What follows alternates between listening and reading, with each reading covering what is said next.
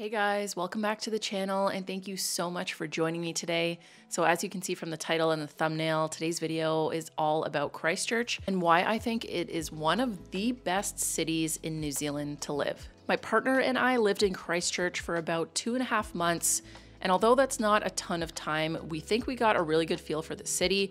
And I wanted to share a few things like cost of living, what it's like to live there, and what things you can do in the area. I wanted to go through cost of living first. This really plays into why I think Christchurch is such an amazing city. So I'm going to break down all the costs of living in Christchurch.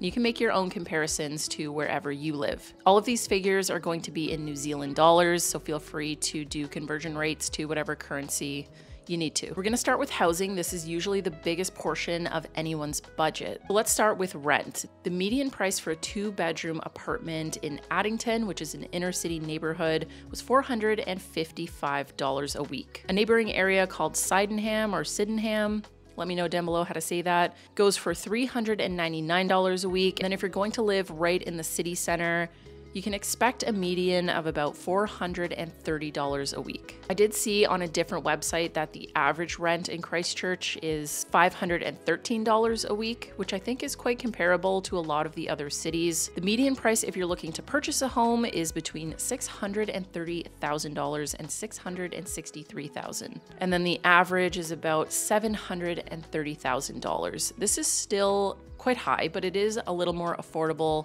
than cities like Wellington or Auckland. And if you're going to be moving here from another country like the USA or Canada or Europe, usually your currency is going to go quite a bit further.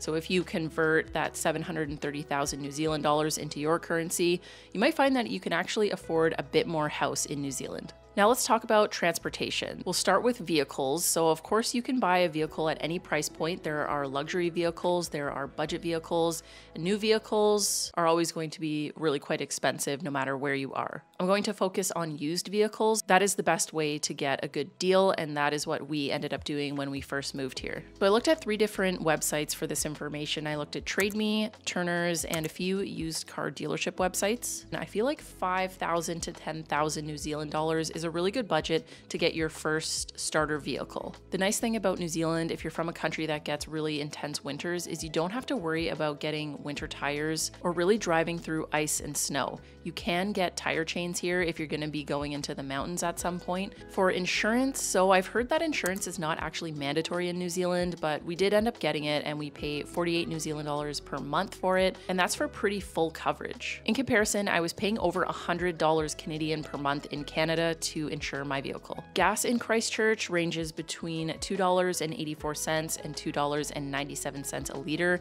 at this point in time. And I wanted to give you guys a tip. There is an app called Gaspy. I'll put their little logo up here so you can see it. But this app will give you all of the gas station prices around the city so you can pick which one is the best price and maybe the closest to you so that you can save a little bit money on gas because it is very expensive here no matter where you are. For car maintenance, oil changers is where we normally go for our oil changes, and it starts at around $100 for an oil and a filter change. A WOF or a warrant of fitness, which you do have to get on your vehicle every single year, goes for about $80, but keep in mind you will have to complete any repairs that show up in that inspection in order to get that warrant of fitness and this can be a few thousand dollars depending on your vehicle. So that might be a downside if you're gonna get a used vehicle that has a bit of issues, but if you're handy, if you like to fix your own vehicles or you find a really good mechanic, you should be able to budget for this if anything does come up. For transit, we didn't end up using any public transit in Christchurch, but there is a transit network called Metro, and the fares, if you have a Metro card, are $2. If you're gonna use cash, it's double that price, so $4 per fare. And it looks like their bus network actually goes quite a ways, so I'll I'll link it down below and I'll maybe I'll put a little map up here so you can see where all the buses go if you don't have a vehicle. Next on the list is groceries. So in the two and a half months that we spent living in Christchurch, we ended up spending an average of 1,465 New Zealand dollars a month on groceries for two people. That works out to about $730 each per month. And we pretty much buy everything on sale and we cook at home all the time. We don't typically buy things that are frozen meals, like we actually buy everything fresh and cook it. So we do eat quite well, but we do still buy things on sale. The price of food has gone up everywhere, so maybe that's just a reflection of that. We do typically shop at Countdown, which is one of the more expensive grocery stores. And if you're looking to save, I think Pak'nSave is probably the best bet. I just personally don't like going into that store, it gives me a lot of anxiety, so I avoid it. But if you're looking to save, maybe pick a really good time to go when it's not that busy. I think I've heard Sunday nights or Friday nights are really good. Let's talk about phone and internet. I pay 40 New Zealand dollars a month for an unlimited phone plan with Skinny Mobile. That's a really good deal. For the equivalent in Canada, I'd be paying at least double that. We currently pay $55 a month for 120 gigabytes. I don't think that's that good, but the internet here is a little bit confusing to me. So we have Spark. The only reason we went with Spark is because the place we moved into already had the modem. We didn't want to have to pay another $150 to get a new one with another company. So we just ended up signing up with Spark Spark to save a bit. The way the internet works here, at least with Spark, is you have a SIM card in the modem and it's actually using the cell network to get you on the internet. So that means it's a little more susceptible to lagging. I was also told we weren't able to get the unlimited package because there were too many people on the network in our area. The price for the unlimited plan though was 80 or $85, which again is really good. You'd be paying quite a bit more for that in Canada. It's safe to say that phone and internet plans that have quite a bit of data are quite affordable. It also seems like New Zealand is moving to fiber. When we signed up with Spark, they suggested we installed fiber but I think it's like a three or four month wait to actually get that work done. So if you're moving to a house or an apartment that already has fiber, you're gonna have much better internet speeds and much better quality. But it will be more expensive. I think the fiber plans go for around $120 a month. Next on the list is utilities. So, electricity, we haven't actually gotten our electricity bill yet, but it looks like Christchurch has the most affordable power rates at 30 cents per kilowatt hour. And after doing a bit of research online, it looks like $150 a month in the summer and $250 in the winter is a good estimate, at least to start with. Of course, your power consumption is going to be different than everyone else's. If you're not home a lot, if you don't work at home, you're probably going to be using a lot less power and therefore your bill is going to be lower. Now for entertainment. So, of course, this budget can go anywhere from zero to thousands of dollars. This is totally up to you, but I wanted to give you an idea of what a few different things cost in Christchurch specifically. So, a meal out for two people, we were spending between 70 and 100 New Zealand dollars for this. And of course, you're going to spend a lot less if you don't drink alcohol go to a place that's a little bit cheaper, a sit down restaurant that's kind of known for its cheap eats, or you go on a night where they have a special, like a two for one, or something on the menu that's cheaper on a certain day. You could definitely get this down to 10 to $20 a person if you find the right spots. Now for beer, you can expect to pay between 11 and 14 New Zealand dollars for a pint.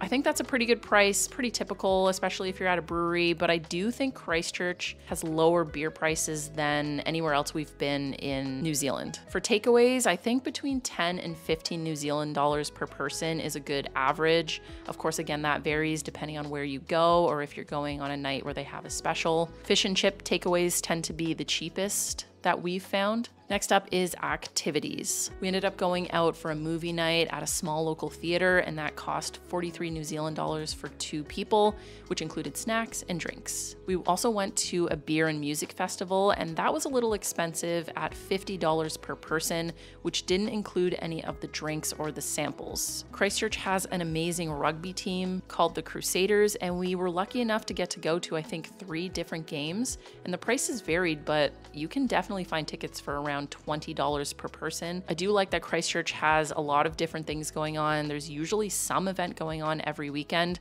no matter what the season is, which brings us into just a few points I wanted to touch on like pros and cons of living in Christchurch. A big pro for me, which might sound kind of weird to some of you, is that Christchurch is flat and all the roads are flat. And yes, there are hills in some of the areas in Christchurch, in the Cashmere Hills or the Port Hills. But if you're living down in the city center or somewhere that's not in the hills, it's really flat. The roads are super easy to drive on because they're flat and they're straight. And I love that because it's a little difficult driving in New Zealand sometimes around the windy roads. Christchurch is normally, I want to say, on band tour lists if you're big into music. I know my personal favorite band, the Foo Fighters, are coming next year and we're going to go and see them in Christchurch. So that is super exciting. Christchurch is building a new arena. So you can expect that this will get better in the coming years and you will get more events and more bigger music artists. Another pro is that there's so many amazing travel destinations that are a short drive away. When I say a short drive, I mean under four hours for me, I think is a good amount of time. So places like Akaroa, which is about an hour and a half, Arthur's Pass, which again, about an hour and a half away, the West Coast, Dunedin, Kaikoura. There are so many places that are a short drive away that are so amazing to go and explore. Christchurch is such a good base to see a large portion of the South Island. And if you're moving here to make it your home, you're definitely going to have so many places to choose from when you want to go out and explore the country. It's also worth mentioning that Christchurch does have an international airport. Most international flights go into Auckland, but I think now that the pandemic is kind of gone and that industry is recovering, more flights are coming directly into Christchurch. I do know that you can fly directly from Canada to Christchurch, so that's a bonus if you're not from New Zealand, you're looking to move here, but you do want to be able to go back home and visit family and friends, you don't have to go up and connect in Auckland first depending on where you're going, of course. Christchurch is a growing city. It does have a pretty small population right now of about 389,000 people, but it is expected to grow to over 414,000 people by 2033. There's a lot of stuff going on in Christchurch. There's a lot of things being built, and I think it's going to become a really popular city in the coming years. I don't have children and I don't plan on going back to school anytime soon, but Christchurch does have two pretty well known universities the University of of Canterbury, and they also have a University of Otago campus. I'm going to give you a few cons. These are things that I've noticed that probably won't be cons to everybody, but I thought I would bring it up just in case this might be a factor for you in deciding if it's the right place to live. I do find Christchurch is lacking a little bit in terms of culture compared to other cities like Wellington, or Rotorua or Auckland. Since Christchurch has a pretty small population, it means that there's not a million things going on. There's still a good amount of stuff going on, but with a smaller population, you're not going to have the same amount of events to choose from compared to cities like Auckland or Wellington. So it's something to keep in mind if you're someone who really likes to go out and experience events and things going on in your city. And the last thing on the con list for me is the earthquake risk. If you don't know, Christchurch had a really major earthquake in 2011 that leveled a lot of buildings in the city.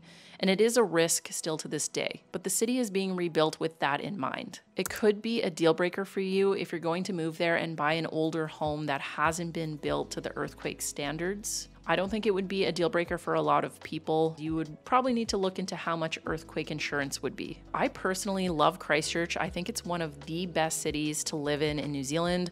I definitely think it's one of the most, if not the most, affordable cities. And I think it's an amazing place to raise a family and to live.